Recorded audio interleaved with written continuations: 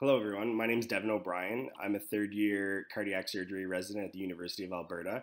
I'm originally from St. John, New Brunswick, and recently finished a rotation at the New Brunswick Heart Center and was asked to do a quick presentation for nursing education on pacing wires and pacemakers. I have no conflicts of interest to declare. So, for an outline of what we'll discuss today, uh, we'll go through a quick introduction and some basic terminology uh, the diagnostic and therapeutic uses of pacing wires and pacemakers, uh, pacing nomenclature, pacing and when to use what type, some potential problems you could encounter, and a little bit about permanent pacemakers at the end of the presentation. So to begin, for every heartbeat, electrical signals travel through the conduction pathway of your heart. The parts of the cardiac conduction system are the sinoatrial or SA node, the atrioventricular or AV node, the bundle of His, and the Purkinje fibers. Here's a diagram of the cardiac conduction system, and it displays all the parts of the conduction system that we just went over and the typical locations in the heart. Uh, during cardiac surgery, there's many times that the cardiac conduction system can potentially be damaged um, or have inflammatory processes postoperatively that can lead to issues with pacing. The conduction pathway starts when the SA node creates an excitation signal. This signal then travels to the atria, telling them to contract. It then goes to the atrioventricular node, where the signal is delayed until your atria are empty of blood. Then it travels to the bundle of His, carrying the signal to the Purkinje fibers. The Purkinje fibers then carry the signal to your ventricles, causing them to contract. For some general information, the use of cold cardioplegic arrest is commonly associated with temporary sinus node or AV node dysfunction. Placement of temporary atrial and or ventricular wires are beneficial to many patients for hemodynamic optimization post-op cardiac surgery. Wires are useful when medications to prevent atrial fibrillation cause AV heart block, and hesitancy to pace atrial wires may come from experience with bleeding when pulling A wires. That can sometimes happen on the floor when pacing wires are pulled, uh, and A wires are more likely the source of those circumstances when tamponade becomes an issue. Some surgeons, because of this, have a little bit of hesitancy placing atrial wires in the first place. For some diagnostic uses, so atrial electrograms, when the nature of the arrhythmia cannot be confirmed by 12 lead ECG, atrial pacing wires can be used to obtain atrial electrograms. These atrial electrograms can distinguish between atrial and junctional arrhythmias and differentiate them from more, from more life-threatening ventricular arrhythmias. For therapeutic uses, so optimal hemodynamics is a very important therapeutic use. Postoperatively, the heart rate is of approximately 90 beats per minute tends to be best, and we can use pacing wires to obtain this instead of chronotropic agents that have varying other myocardial effects. And atrial or AV pacing typically produces better hemodynamics than ventricular pacing alone. AV delays many times prolong postoperatively, uh, and shortening this using pacing wires can improve hemodynamics. Another therapeutic use would be termination of reentrant rhythms. So, rapid atrial pacing can terminate type 1 atrial flutter and other paroxysmal supraventricular tachycardias, and rapid ventricular pacing can terminate VT. Obviously, uh, in these circumstances, it would be a very short term use of pacing, uh, but nonetheless can be very useful. To move on to some pacing nomenclature, uh, so here you can see that there's coded positions one through five. Uh, one through three is typically what you would hear about. So I'll just go over them here. Um, for number one, that would be the chamber paced.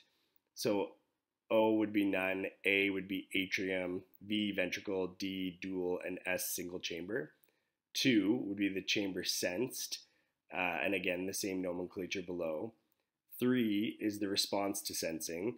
So O would be none, T would be triggers pacing, I inhibits pacing, and D triggers and inhibits pacing. In four, that's programmability uh, or rate response. So O is none, R is rate responsive, P is simple programmable, M is multi-programmable, and C is communicating. And finally, for the fifth code position, anti-tachyarrhythmia functions, O is none, P is anti-tachycardia pacing, S is shock, and D is dual pace and shock. For temporary pacing modes used after heart surgery, um, as I said, you'll typically hear of the three first code positions. So here you can see a list of five different uh, different combinations of those. So AOO would be asynchronous atrial pacing, AAI would be atrial demand pacing, VVI would be ventricular demand pacing, DVI AV sequential pacing with ventricular demand, and DDD AV sequential pacing with both chambers sensing. The most common modes are AOO, uh, VVI, DVI, and DDD.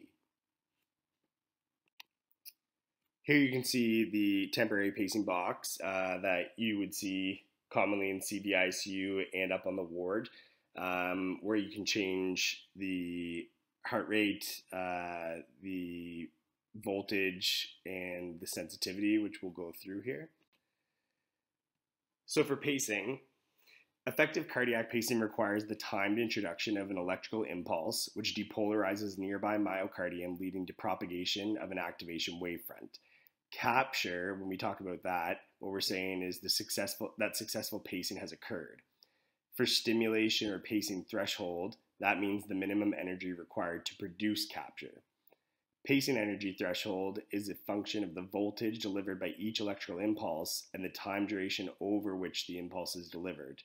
And as a margin of safety, um, for chronic pacing leads, it's conventionally programmed at a pacing output two times uh, the pacing threshold voltage or three times pacing threshold pulse width, width.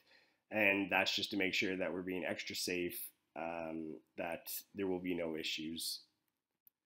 For sensing, Sensing is required for the pacemaker to coordinate pacing with any intrinsic electrical cardiac activity or depolarization. The electrogram is sensed when the amplitude of an electrical signal exceeds the program sensing threshold. When sensing occurs, the program timing circuits of the pulse generator are reset. In general, again, a two-fold to three-fold sensing safety margin is incorporated to reduce the incidence of oversensing. And what becomes somewhat confusing is the lower the setting, the more sensitive the pacemaker is to intracardiac signals. For pacing and when to use what? So to begin with, atrial pacing requires the ability to capture atrium and normal AV node conduction. It's ineffective during AFib, A-flutter, and it's accomplished in AOO or AAI mode, usually at 10 to 20 milliamps and set to a rate faster than the heart rate. So indications for atrial pacing when we would want to use that are sinus bradycardia um, or a desire or a desire to increase the sinus rate, suppression of PVCs set at a rate faster than the sinus mechanism, suppression of PACs or prevention of AFib, a slow junctional rhythm, or overdriving SVT. So that could be A-flutter, paroxysmal atrial, or AV junctional reentrant tachycardia. Uh, rapid atrial pacing can interrupt a reentrant circuit and convert it to a sinus rhythm or a non-sustained rhythm, such as AFib, which may terminate spontaneously for atrioventricular pacing. So AV pacing is ineffective during atrial fibrillation flutter. AV pacing is preferable to ventricular pacing uh, because atrial contraction helps cardiac output. So for indications of AV pacing, they would be complete heart block, second degree heart block to achieve one-to-one conduction, or first degree heart block if one-to-one conduction cannot be achieved at a faster rate because of a long PR interval.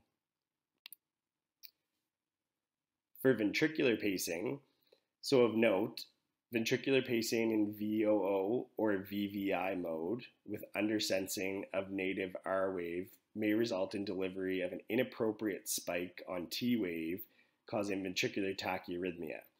So, this can be a very serious issue where you're sending someone into uh, ventricular tachycardia based on the settings that you've chose for the temporary pacemaker. So while they can help us in many instances, we need to be sure that we understand all of the different settings and what we're doing when we're changing the settings to make sure that negative consequences don't occur as well. For ventricular pacing indications, slow ventricular response to atrial fibrillation flutter, failure of atrial pacing to maintain heart rate, and ventricular tachycardia overdriving pacing. So, some potential problems that you may encounter. Um, a big one, and probably one of the main ones, would be failure to function. So, the, the temporary pacemaker not working. Um, so, this can be through faulty connections, uh, which can be the pacing wires to the connecting cord or to the generator, a defective pacing cord, electrodes located in an area of poor electrical content or high threshold on the heart, undetected detachment of the wires, or undetected development of atrial fibrillation causing failure of capture. So, if this occurs, how to fix failure to function. So, first of all, you want to check all of your connections to make sure that they're connected. Uh, you can increase the output of the pulse generator. You can reverse the polarity of the wires. You can try unipolarizing the pacemaker by attaching positive lead to a surface ECG electrode or skin pacing wire. You can convert uh, ventricular pacing if atrial stimulus fails to produce capture. Uh, you can use chronotropic medications. You can place transvenous pacing wires, or in a worst case scenario, you could transcutaneously pace for the time being. So, some other issues that can arise a change in threshold and this can be caused due to edema, inflammation, thrombus, or scar tissue in the heart. Um, oversensing, so if the atrial activity of AFib A flutter is sensed during DDD pacing, a fast ventricular rate will be noted. Competition of native rhythm, so if atrial or ventricular ectopy during asynchronous pacing, uh, turning off pacemaker may eliminate this problem inadvertent triggering of VFVT. So ventricular pacing should always be done using DVI, VVI, or DDD. And the last issue would be mediastinal bleeding, which we had talked a bit about before. So several hours after removal of wires, we need to make sure that we observe these patients very carefully and don't send them home immediately after a wire pull to observe for tamponade because that's always a possibility when you pull the wires from the heart. Just a quick little section on permanent pacemakers. So, postoperative management, or sorry, postoperative permanent pacemaker placement is indicated for the following. So, if someone has continued complete heart block, if they're symptomatic or have significant sinus node dysfunction, if they have a slow ventricular response to atrial fibrillation, if they have tachycardia bradycardia syndrome, or if they have advanced second degree heart block with a slow ventricular response. And obviously, this would be a conversation with the electrophysiology specialist to see if the patient is in a situation where they feel they would need a permanent pacemaker um, for the rest of their lives to help with these issues. My resources for the presentation were the Manual of Perioperative Care in Adult Cardiac Surgery, the fifth edition by Robert Bojar. And again, as I said, my name is Devin O'Brien. I'm a third year cardiac surgery resident at the University of, University of Alberta. However, I can be reached by email if anyone has any questions about the presentation. Uh, my email is on the first slide of the presentation, uh, but I'll spell it out here. It's djobrie1 at ualberta.ca. Uh, thank you everyone for listening. I hope you enjoyed the presentation and learned something. Um, and hopefully you have a great day. Thank you.